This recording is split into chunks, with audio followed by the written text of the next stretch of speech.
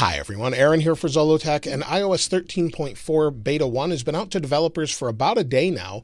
I've been using it on my iPhone 11 Pro Max. I have it on some other devices as well, but quite a few people have actually found new features that I didn't mention in the initial video. I mentioned quite a few, but I have 20 other features and changes to mention now. Now, some of them I've found, some of them I didn't find, but if it was someone else that found them, I'll credit them in the description below. Now, the first thing has to do with Siri shortcuts or shortcuts. So if you go into the Shortcuts app, then you create a new shortcut, then you click Add Action. If you search for Shazam, you can Shazam it. That's actually an action you can do now. And so if I play this shortcut, all I have to do is hit play. It's going to listen for a sound. And you could use Siri to do the same thing, but it's going to listen for a sound.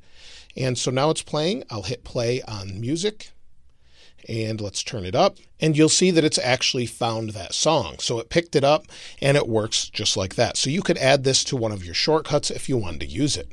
Now the next thing has to do with music as well, and it's a small change, but in the music app, maybe we go into this song here, let it happen. It's playing, and if you have the lyrics on and it has a long intro, or a gap in the song, you'll have these three dots here as the song is playing until they start singing the song. So those will just show up now. It's just something that they've changed. And something else that they've changed is if you want to play a song next or later, you press and hold on it and you'll see now it says play last. Previous to this, it actually would say play later.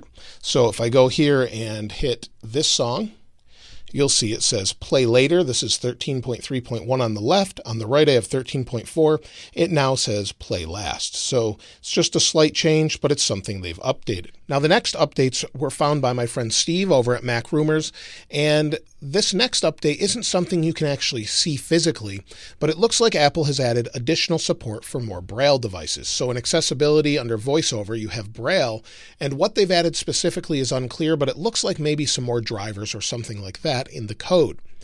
Now, again, under accessibility, if we go to touch and then we go to assistive touch, we turn that on We'll hit customize, then we hit customize top level menu. You'll see the dwell icon here. Now, this isn't anything particularly different that's huge, but it's actually a change in the icon that says dwell. So here is iOS 13.3.1 on the left, iOS 13.4 on the right, the dwell icon in the upper right on the left here, and then the dwell icon in the middle here are slightly different. It's just a small change. Now there's some other icons that were in the code as well that again were found by Steve, and this one is actually for developers. It's hidden in the Xcode previews, and it looks like it may allow developers to preview layouts on the device itself. So, what it actually does, we're not sure, but it's just found in the code. And again, there's another icon that's different that's in the code. We're not sure where it is, but it's an infinity symbol that has to do with playing music. And then there's also another one for maybe manga coming to Apple Books. So that may be coming in the future. And then additionally, there's a performance trace in the Control Center apps as far as something that may be coming in the future. So maybe we can look at the performance of a device with more understanding in the future. So all of those things are new and you don't see those a whole lot, but they're all there to check out. Now, the next thing has to do with Siri. So if we go into Siri and then again, we go to accessibility here.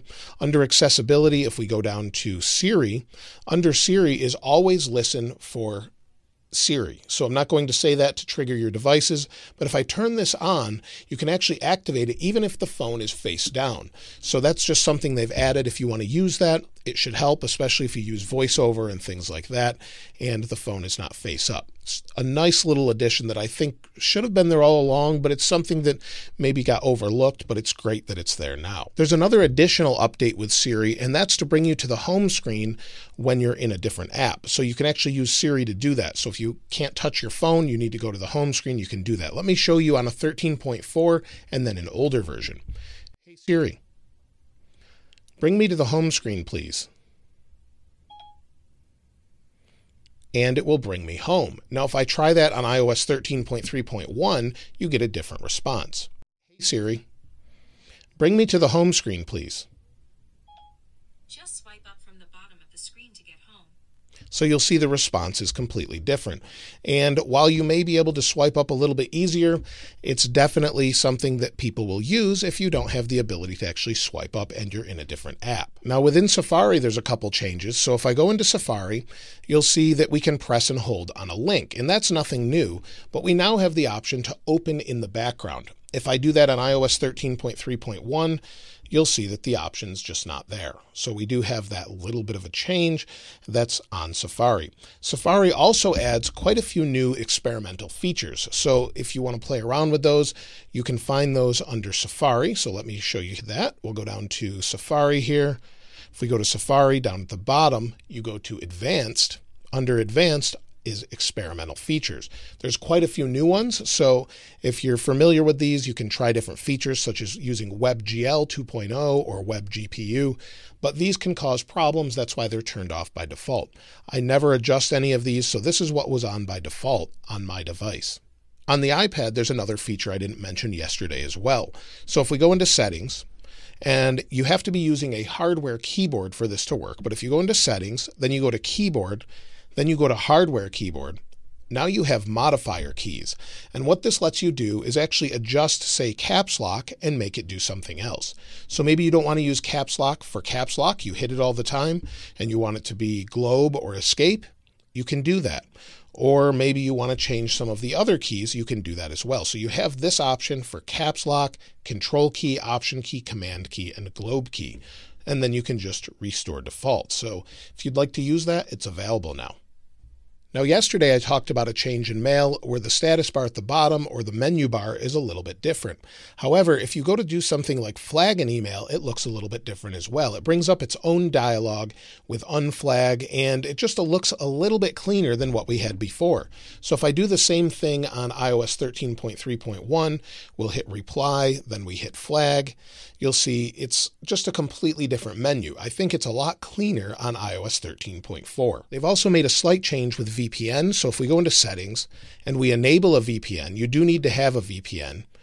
And in the upper right, you'll see when it's connected, it says VPN. And when I turn it off, it looks a little bit different. So it crosses out the VPN. So it's just a slight change, but it's something that's new. Now on devices with the home button, they've made a slight change to the control center. On the left, I have iOS 13.4 and you'll see it says no SIM, 58%. On iOS 13.3.1, it doesn't have that. So on the iPhone 6s in my right hand, there's nothing on there. So they've just added that to match the iPhone 10 and newer. So that's a nice little change. Now, under the Health app, there's a slight change. So if we go into the Health app and you tap on Browse in the bottom right and scroll all the way to the bottom, you now have the option for Add an Account. And if you tap on Add an Account, it looks for nearby medical places so that you can actually add the account for those particular places. So, depending on where you live, you can see there's quite a few here, and it's based on where you're at right now. So, you'll see all of these are showing up and it just keeps on going, or you can search for your local healthcare facility and add your account for that. So, it's a nice little change. Now, within the Measure app, there's a slight change. So, if I go into Measure and we want to use this, the animation is a little bit different. So, if I go into Measure here, on 13.3.1, you'll see the animation is slightly different when it tells you to move your iPhone to start. They've just changed that around a little bit. It's a nice little touch, I think, that they've added. And then finally, the Home app, if you use Home like I do for turning on lights and things, the actual text or font seems to be a little bit darker or has more contrast to it. So it's a very slight change that someone noticed but depending on the display you're in or the screen you're on, it looks a little bit different, but you may not even see it on camera. So it's so slight, it's hard to see. And that's really it that I've found or others have found on iOS 13.4. But if you've found anything else, I'd love to hear from you in the comments below. And I'll be doing a follow up as well. I usually do those on Sundays. So I'll be doing a poll once this comes out to the public beta testers, or maybe I'll do one before and I'll talk about how it is and whether or not you should install it, even if you're a beta tester. If you'd like to get your hands on this wallpaper, of course, I'll link it in the description as I always do. And if you haven't subscribed already, please subscribe. And if you enjoyed the video, please give it a like. As always, thanks for watching. This is Aaron. I'll see you next time.